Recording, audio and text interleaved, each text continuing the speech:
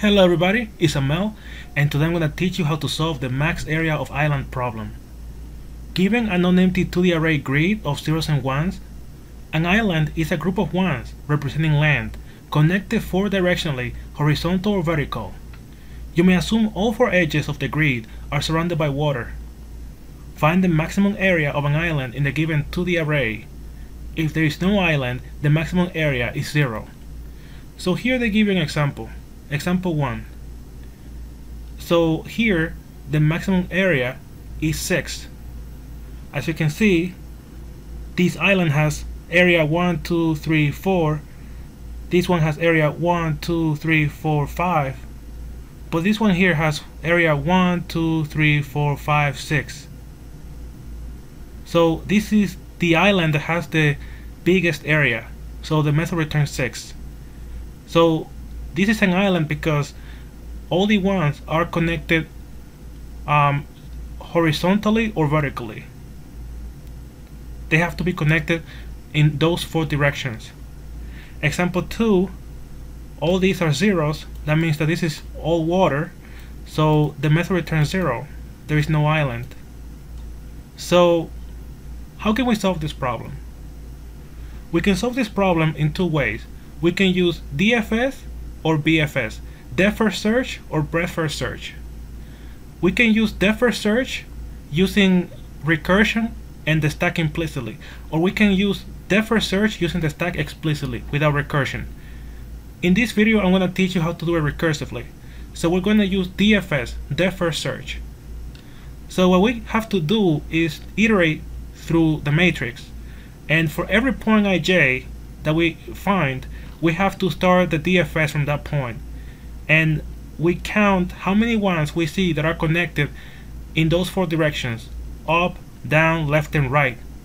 And as we traverse recursively doing DFS, we keep the count and we count how many ones we find. And then we return it back to the main function, to the main method. And then we update the max that we have. If we find that this new island is bigger than the max that we had before, we update the max variable. So without further ado, I'm going to show you how to write the code. First, I'm to check the input. So if grid equals equals null or grid dot length equals equals zero or grid sub zero dot length equals equals zero, I just return zero because the input is invalid. So the reference is null or there are no rows or there are no columns. Then I will have a variable max gets the value of 0. And then this will be my final result. So I will iterate through the matrix. So for integer i gets the value of 0, i is less than grid.length, the number of rows, plus plus i. For integer j gets the value of 0, j is less than grid so by that length that means the number of columns for this row plus plus j. And then every time I need to update my maximum. So I will say, I will say max gets a value of max that max. Of the previous max I had found before or this new area. So calling my helper method dfs pass the grid for position ij and at the end I will return the maximum area. So return max. So as you can see every time that I find the area this is the area for uh, starting a position ij I have to check if this area is bigger than the maximum area that I found before. If that's the case I update my maximum result my maximum area.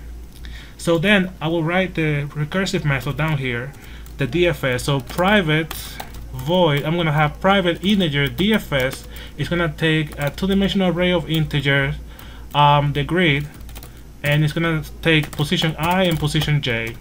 And then I will say if i is less than 0 or i is greater than or equal to grid that length to grid that length here or j is less than 0 or j is greater than or equal to grid so by that length or grid so by sub j equals equals 0 that means that this is water I just return 0 so these conditions here check if I'm out of bounds. So if I'm out of bounds, um, I will return zero because I have no land. And also, if I see a zero at this position ij, this is water. So I return zero because I, ha I have no land. Then, if I get down here, that means that I have found land, so I have to add it. But before before I add the land to my final area, to the, to the area, I want to mark this position ij to be zero because I don't want to count it again. So we'll say grid sub i sub j gets the value zero. Then I can return one for this for this one that I found. For instance, as I'm traversing, I find this one here. So this is land. So I return one for one land plus DFS grid i minus one j. So I have to go up searching for more land plus DFS grid i plus 1 j. So I have to go down searching for more land plus DFS grid i j minus 1 I also have to go to the left searching for more land. And plus DFS grid i j plus 1 so I also have to go to the right searching for more land. So that covers the four directions I have to recurse or have to traverse in order to find more land. That means that they are connected horizontally or vertical or vertically. So I will run the code.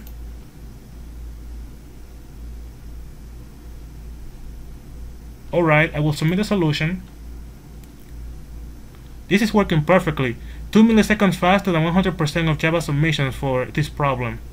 So the time complexity is big O of m times n, where m is the number of rows and n is the number of columns.